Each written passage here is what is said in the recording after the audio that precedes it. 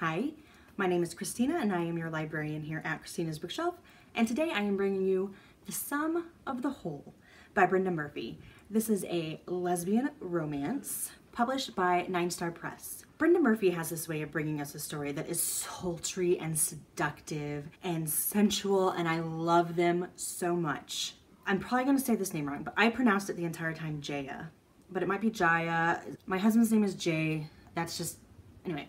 Jaya Jaya is a mistress who has had a really rough childhood, kind of a ruthless adulthood, is how I'm to put it, while she worked in the family business, which was uh, intense. And I kind of saw myself when I was younger, kind of working in the same kind of business. I thought it would be fun, interesting, world travel, all that stuff. But uh, yeah, not so much. She's coming off of a relationship and she decides that she's going to spend some time for herself. The person in her life who really brought her down, gave her so many scars mentally and physically, has now died. So she's kind of doing a celebration, living life now how she wants to live it. So she goes to this house. It's kind of um, a modern day brothel. She kind of sees a uh, submissive that she's very attracted to on so many levels. And they really hit it off. And on one aspect, it's kind of like, are they really hitting it off because Jaya paid for this service? Or are they really hitting it off because they have chemistry together? Is it a mix of both? And that's kind of something that Jaya struggled with. And Sarah, the other main character, struggled with too. All I have to say is that Holy Crap Balls talk about extremely sexy. These scenes between Jaya and Sarah are delicious. So freaking hot and steamy and romantic to an extent. Like, hmm, Mama loved it so much.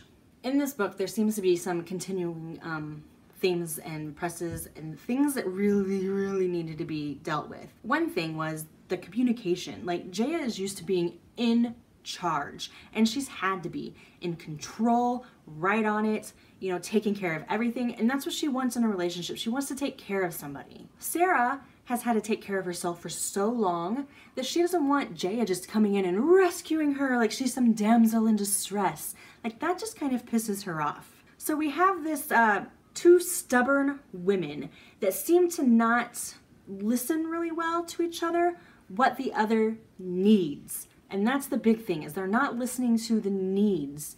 Jaya needs to have this control. Sarah needs her independence.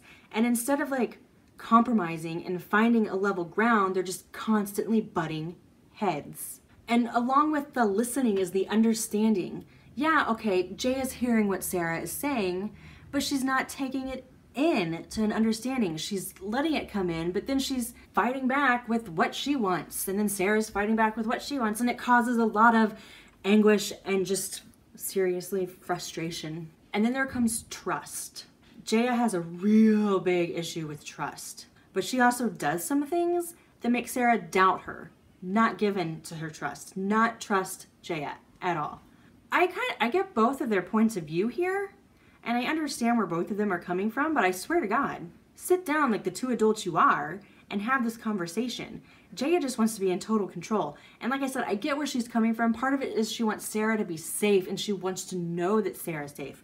But Sarah has lived her whole life pretty much alone, and she knows how to take care of herself. She's independent. Granted, there's something that happens in this book. Jaya uses it against Sarah, and that kind of pissed me off too. Like, this is this one instance, and you're gonna use that to harbor everything?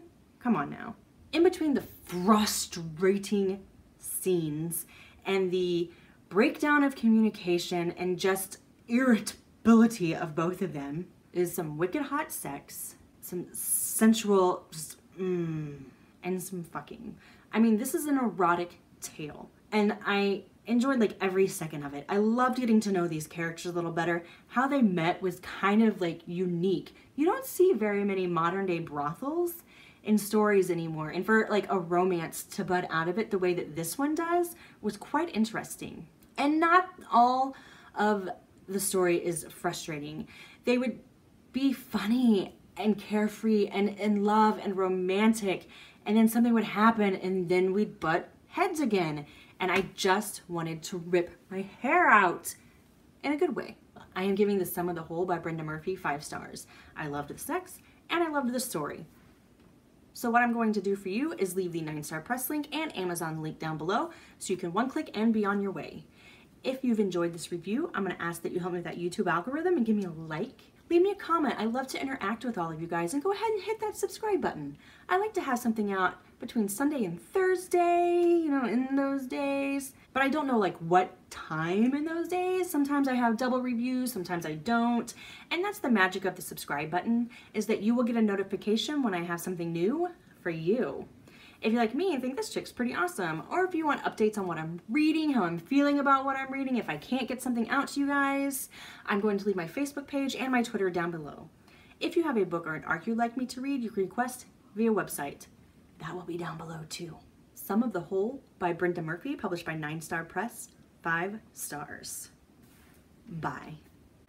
Hi, my name is Christina and I am your librarian here at Christina's Bookshelf. Today I'm bringing you Addict, book number one in the Cassie Tam Files by Matt Doyle, published by NineStar Press. This is a sci-fi futuristic murder mystery thriller with a side of lesbian romance. Cassie Tam is a PI. She wanted to be a cop, but cops these days, especially in New Hope Land, are kind of corrupt after you hit a certain spot, and so she decided